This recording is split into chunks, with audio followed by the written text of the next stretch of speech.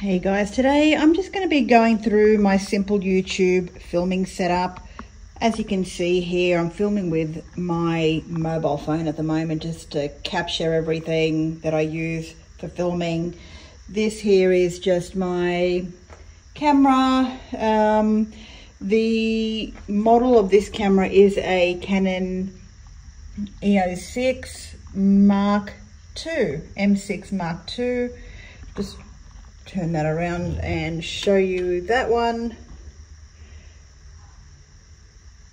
Pretty simple. I do have a couple of these small rigs and obviously I also have a few different types of tripods that I use to mount mobile phones as well as cameras.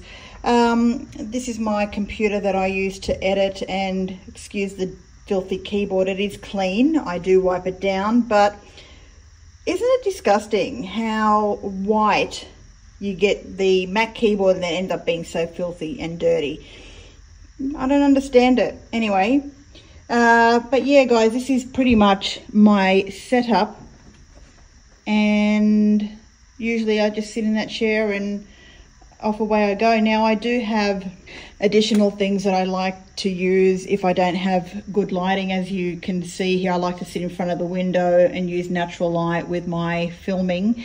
Uh, I do have two big, massive studio lights, which I usually only use one if I have to use it.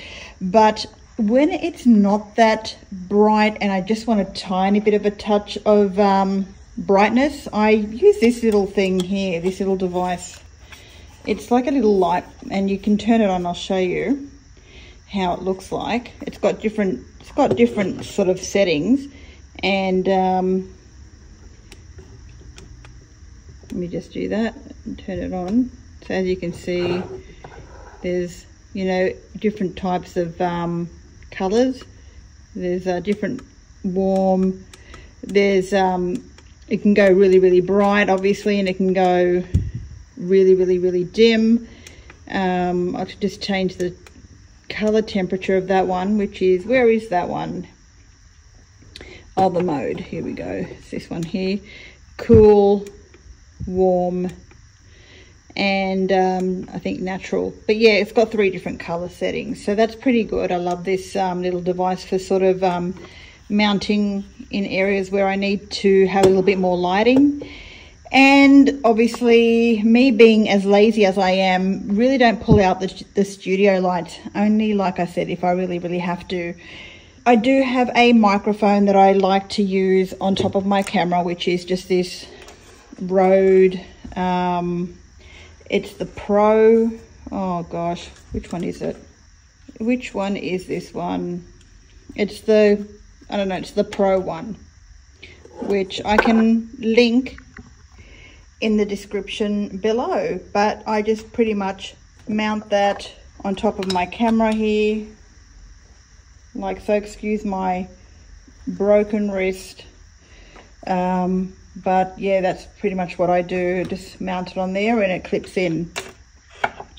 I obviously have a number of different lenses for my camera that I like to shoot with, but at the moment I've just been really, really loving whatever this one is, which is, I think it's the 18 to 55. Yeah, that's it. 18 to 55.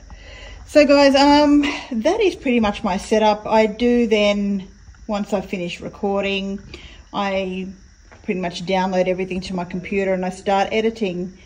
I also just wanted to say thank you so much for the support in my YouTube channel. I did start it on the 2nd of August 2022 and I have only recently just gotten over to 1,500 subscribers. So it's a small growing channel. Really just loving doing YouTube and hopefully one day this will be my full-time job. So there is that. And uh, yeah, for those of you guys just starting out on your new YouTube journey, I wish you all the best. I'm sure you'll probably be succeeding way, way more than I probably have been with every video that I watch in terms of trying to do proper search engine optimization, SEO for short, I just sort of fail to, I don't know, get the views that I like. And, you know, um, having said that, I do have a lot of people reaching out to me saying, you know, we could um, do proper search engine optimization on your channel. But I don't know, I don't think that, I don't feel that would be organic growth.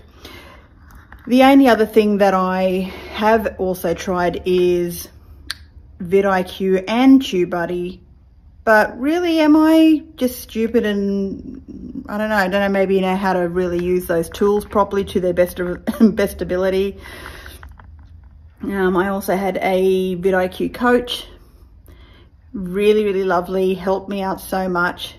Uh, but really at the end of the day, it's all about how well you can do your thumbnails, how well you can, you know, do a title, and it's all a work in progress. But I am obsessed with watching videos that are how to grow your YouTube channel, and I thought I really just wanted to do a video showing you my setup, and here it is. So I'm not going to sugarcoat anything. And guys, if you have any questions or comments, please leave them in the description box below. I love reading comments and I would really love to know how you're also going in your YouTube journey. Yeah, thank you so much for all your support and I'll see you all again soon. Bye for now.